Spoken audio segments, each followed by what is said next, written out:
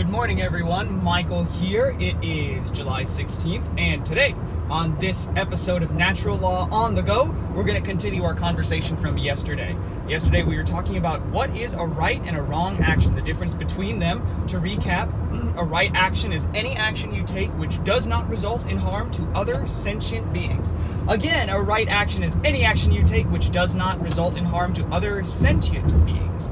Conversely, a wrong action is something that does result in harm to a sentient being, something uh, somebody other than yourself. You own yourself, you can do whatever you want to yourself. Your body is your own property, as is your mind, as is your consciousness. Others, though, are not. Never was, never will be. Okay? So, Today, we're going to continue this conversation about rights since they're so often misunderstood. I mean, I didn't really understand them until about two years ago when Mark Passio explained it to me in very simple, clear to understand English. So that's what I'm trying to convey to you too as well. Um, all right, so today we're going to talk about what are your rights, and we might get into uh, do some people have more rights than others. But let's talk about what are your rights because I wasn't satisfied with the treatment that I gave to that topic yesterday. Okay, your rights are any and all actions that do not result in harm to other sentient beings. The end. It's not what is listed in the Constitution. It's not what are in the Bill of Rights or the Declaration of Independence.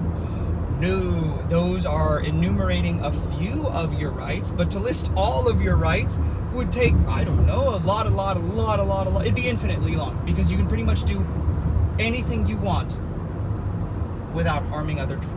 And might seem a little bit kooky when we get into it, but it's true. We've been sold a lie for a very long time, and it's time to start speaking the truth and start believing in and acting on the truth. Okay? So here's an example.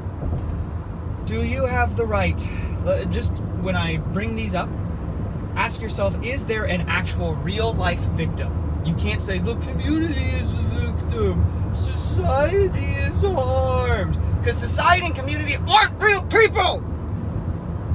It's an abstraction.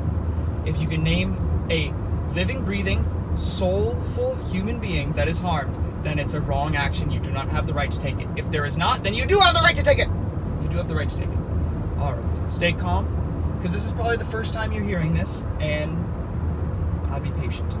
Okay. But when you start to understand it, you'll you'll you'll understand my frustration. Okay. So let's say driving on a road in your car uh, is that your right. Yes it is. Uh, driving in your car over somebody's tomato plants over somebody else's tomato plants. No it's not. It results in harm to that other person uh, because the tomato plants are his property. Driving over your own tomato plants. Yes i guess you do have the right to do that. Feel bad for the tomato plants though. What they do? Um all right forever. I don't really want to do a whole. Now let's do it because it's instructive. Okay. Do you have the right to take a cigarette and put it into your mouth and smoke it? Yes, you do. It doesn't hurt anybody else. Do you have the right to blow cigarette dirty smoke into somebody else's face? No, you do not. There's a victim there. There's somebody who is harmed by that action. Do you have the right to listen to music in your car? Yes, you do. Do you have the right to listen to music right outside somebody's house at full volume? At 2.30 in the morning? I'd say no, because I'd say there's a victim who is being harmed by that action, wouldn't you? All right. Do you have the right to drive 95 miles an hour on... It gets tough with property rights on a private... We won't go into that. Uh, that's, that's too abstract. Um, let's see. Do you have the right to take cocaine and put it up to your nose? Yes, you do. Because it's your body, your consciousness. You can do whatever the heck you want with it. Do you have the right to force somebody else to snort cocaine? No, you do not.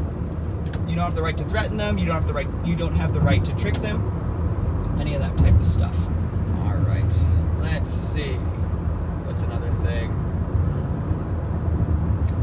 But yeah, basically, you have the right to do whatever you want with your body. And you own the consequences of your action. If that makes you all crazy and you commit a crime, an actual real crime with a victim, you're going to be punished for that, and you should be, because you caused harm. Harming somebody else for doing a peaceful activity, such as any type of drug, though, the person who is restricting them, The person who is stopping them from doing a peaceful activity and smoking marijuana, snorting cocaine, doing all those things that I won't do, I'm not going to do that. But you have the right to because it's your body and your consciousness. If you use violence or the threat of violence to stop them, you are the bad person. You are the bad person for restricting their rights, restricting them exercising their God given rights. They have the right to snort cocaine.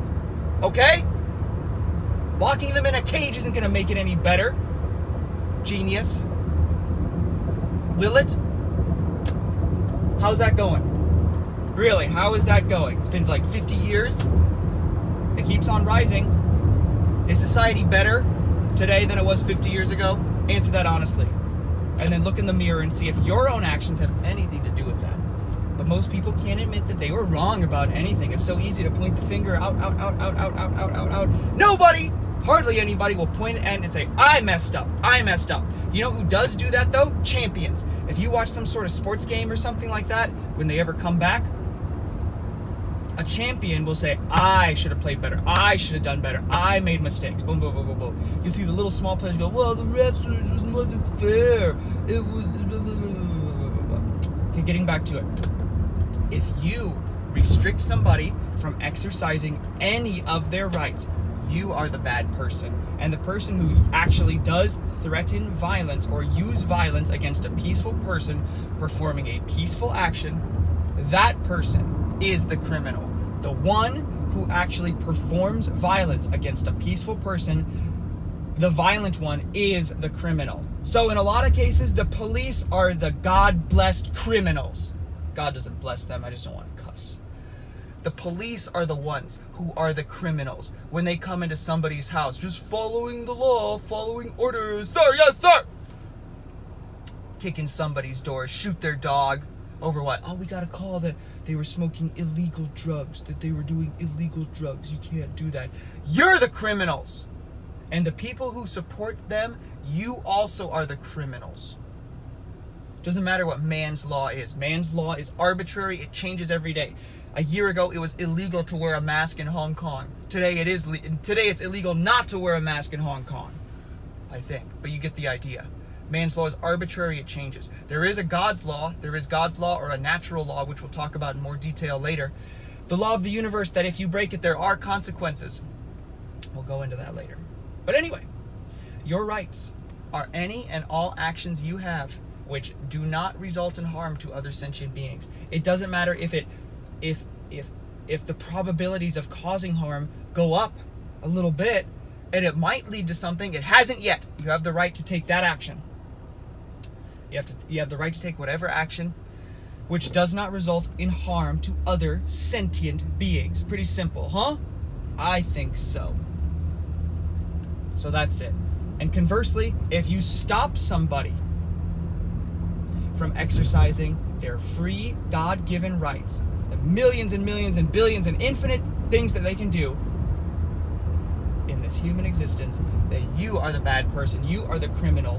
So i hope and i hope you are man and woman enough to admit it to admit that you were wrong. Actually shoot i messed up. I was the one doing wrong not the person peacefully smoking marijuana. I was the one who messed up by saying that they should be put into a cage. Disgusting disgusting. Hope you can feel the disgust in my voice and feel the actual emotion and anger that I feel. Because most people just want to ignore this type of thing, and that's why the world's getting worse and worse. For me, for my friends, for any children that I have, because most people refuse to look at what a right action is and a wrong action is. They'll go their whole God given life and they'll say, oh, it's too complicated. Oh, I don't want to get into that type of stuff. I don't really deal with that. I'm not a black and white type of person. I'm all about gray. It's all about, it depends. It all depends. It's all relative. Einstein said E equals mc squared. So that means I'm never going to look into anything that could be right or wrong because that would might place constraints on my behavior. I just like to do whatever I want, but I don't care if I hurt other people in the process. Okay? That's most people. Very few people in my life, thank God, are like that anymore. And uh, so yeah, I guess this show is for people who are already pretty much awake. If you're already asleep, you're probably just like, that's stupid. I don't like it. That's bullshit. Your argument is bullshit. And have fun with that. Enjoy what happens to you. And yeah, so I guess we've gone on far enough for that. Rights are any and all action that you can take that don't result in harm to other beings, and you may not, under any circumstances, restrain or restrict or threaten violence against free people doing peaceful activities which are their God given rights to do.